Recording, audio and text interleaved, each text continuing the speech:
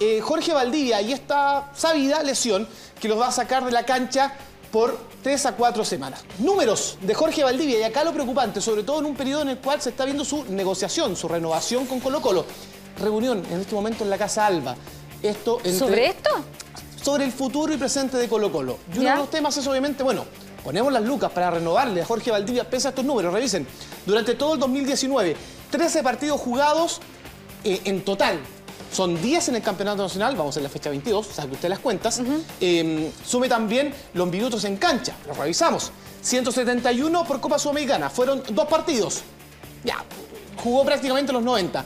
Por Campeonato Nacional, 641 en más de 20 fechas. Claro, son apenas 10 los partidos que ha jugado, ni siquiera como titular. Solo entre abril y mayo tuvo continuidad. Seis partidos como titular, los 90 minutos. Pero después vinieron las lesiones. Y por Copa Chile, 90 minutos que sumó en la última llave ante Everton de Viña del Mar. Oye, el cálculo eh, apunta a que gana como 700 mil pesos por minuto. No, pero pongámosle play. Mira. A ver. Ahí viene. Pum. Mira. Ahí está. Sacando las cuentas a base de un sueldo que recibe Jorge Valdivia de 63 millones de pesos. No todo se lo paga Colo Colo. También recibe renta por auspiciadores. El total. Ya. Lo que le depositan los 31 es esa cifra.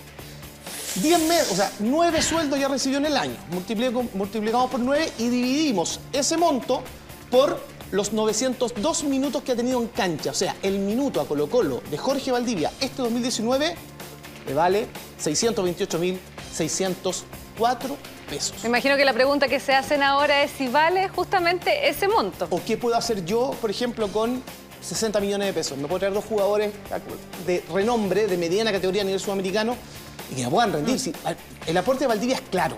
Entrega un aporte a Colo Colo. Pero cuando está y no estando en condiciones, yo creo que lo van a renovar, pero obviamente su renta va a verse disminuida Oye. para traer a algún otro jugador que pueda estar cuando Valdivia no está.